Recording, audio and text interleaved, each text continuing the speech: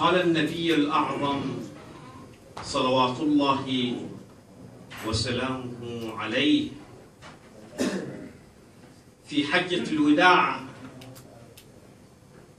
والمسلمون مجتمعون بعشرات الآلاف في تلك الواقعة المهمة حيث ختام حياة رسول الله صلى الله عليه وآله وسلم. قال لهم من ضمن وصيته المعروفة فإن دماءكم وأموالكم وأعراضكم عليكم حرام كحرمة يومكم هذا في شهركم هذا في بلدكم هذا. فليبلغ الشاهد الغائب. هذا هذه حرمة الإسلام اتجاه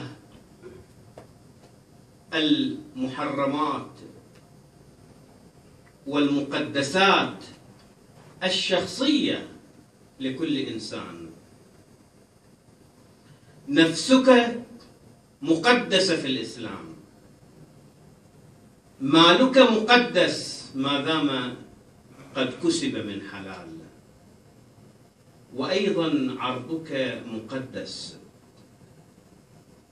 بل مأمور من قبل الله سبحانه وتعالى بأن كل شخص أن يحافظ على عرضه وناموسه والذين هم لفروجهم حافظون. الحديث الشريف للإمام علي عليه السلام والذي اشتهر كثيرا في قضية ثورتنا إذا مس مس العرض قامت الحرب. العلماء يفرقون بين المس واللمس. المس قضية خفيفة جدا. مسست الشيء يعني في أقل الدرجات. حتى أنه لم يعني ليس بمستوى اللمس. اللمس مرحلة متقدمة. إذا مس العرض قامت الحرب. ولاحظوا أن كلام أمير المؤمنين لا يتحدث عن قضية مسلمين أو غير مسلمين. قضية عامة مرتبطة بوجدان الإنسان أي إنسان. مرتبطة بطبيعة البشر أيا كانوا من أي مذهب من أي دين من أية قومية كانت. هذه طبيعة البشر. ولهذا هذا الحديث هو تقرير عن واقع. إضافة إلى جواز من قبل الإمام من الناحية الشرعية. هو يتحدث عن حقيقة أن ممكن أن تنطلق حرب بسبب مس عرض. في البحرين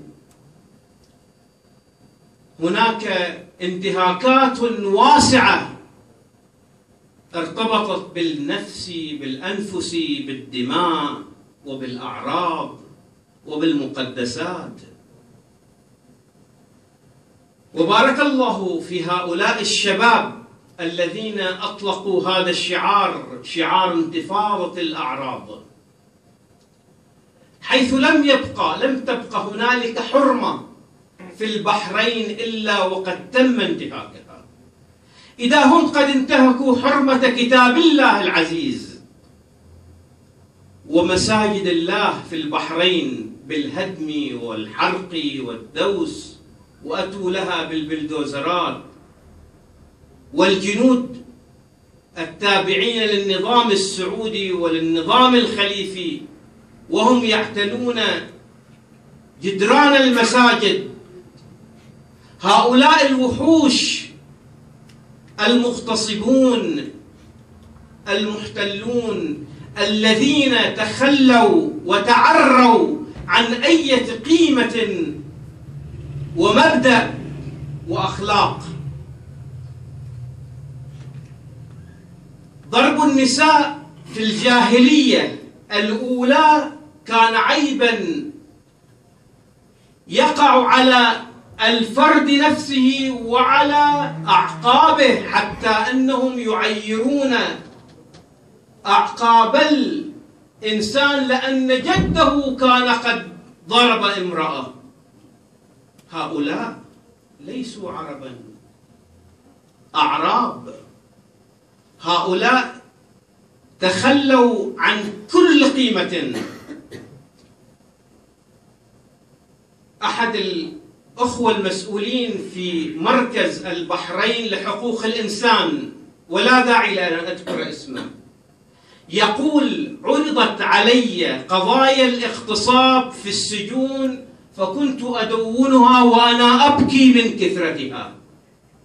إذا ذكر بسيوني وهو مرتزق في الحقيقة تابع معين من قبل طاغية البحرين قد وثق ست حالات فليكن في علمنا أن الحالات الاغتصاب لأخواتنا النساء بالعشرات.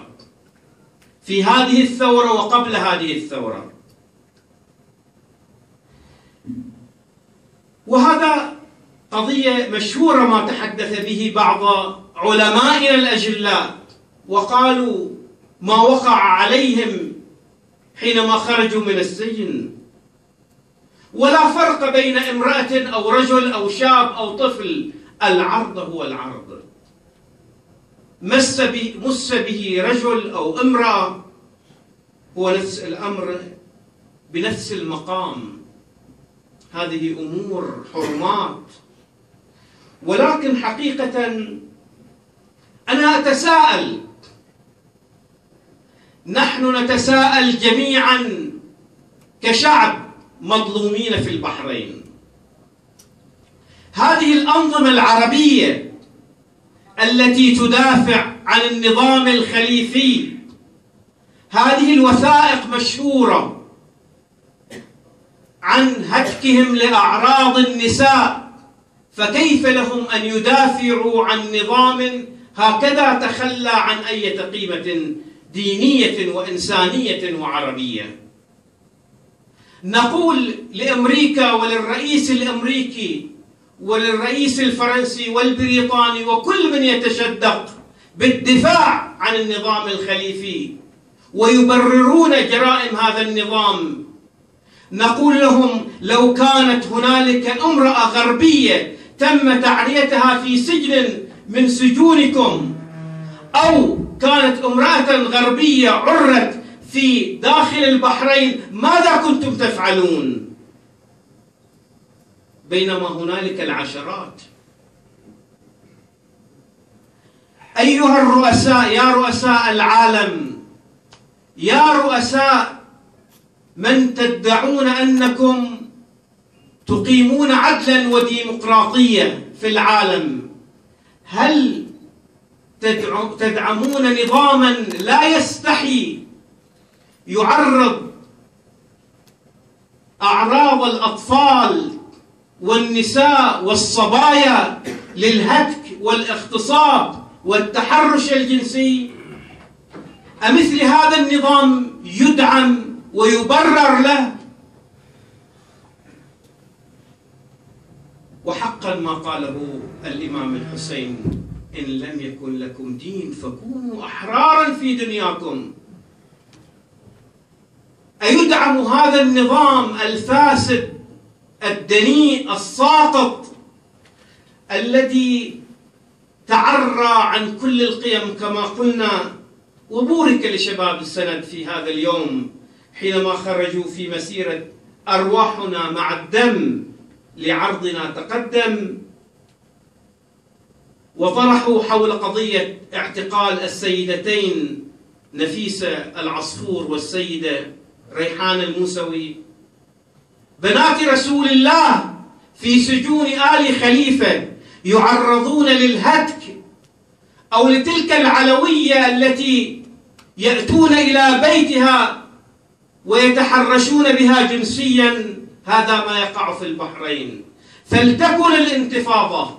انتفاضة الأعراض لتحرير وطننا من هذا الرجس المنكوس والعدو الغاصب الذي لن يراعي فينا إلا ولا ذمة.